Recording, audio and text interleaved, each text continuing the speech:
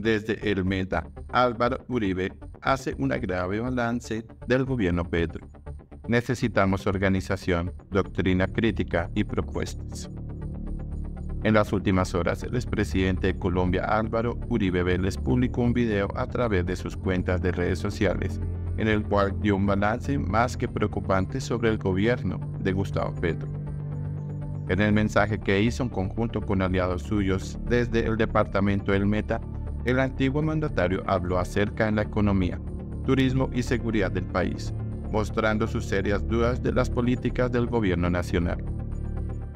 En primer lugar, Uribe se refirió a la baja de turistas en el departamento por cuenta del incremento de grupos delincuenciales en la región. El turismo a Caño Cristales ha caído un 50%.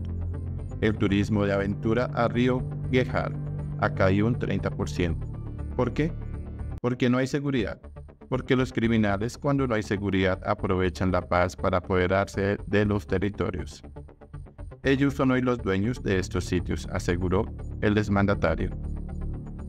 Posteriormente, el expresidente de Colombia aseguró que no era un tema solo de descenso crítico del turismo por cuenta de la incapacidad, sino que, según cuenta, por ejemplo, la vivienda, lo poquito que se sostiene es por el dinero que llega del extranjero.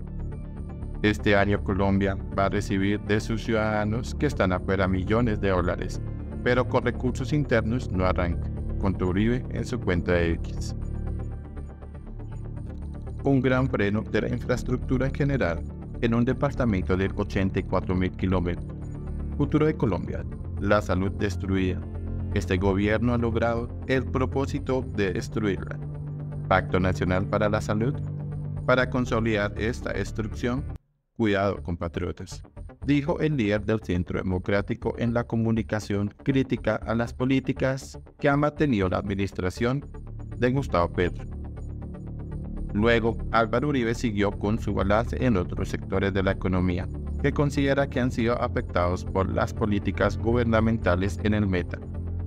Por ejemplo, aquí hay una gran afectación a la comunidad por la labor agropecuaria de unas comunidades menonitas les están quitando la tierra, denunció el mandatario sobre el miedo que infringen los grupos al margen de la ley en el departamento. Y a los que están sembrando aguacates en lejanías, los grupos violentos les quitan por toneladas un porcentaje que prácticamente va a obligar a esos campesinos a abandonar los cultivos. Al departamento le merman la regalía en un 31%. El gobierno nacional gasta y gasta. Los departamentos con dificultades la ciudadanía más pobre, asfixiada por impuestos. ¿Qué necesitamos? Necesitamos organización, doctrina, crítica y propuestas, finalizó el exmandatario colombiano.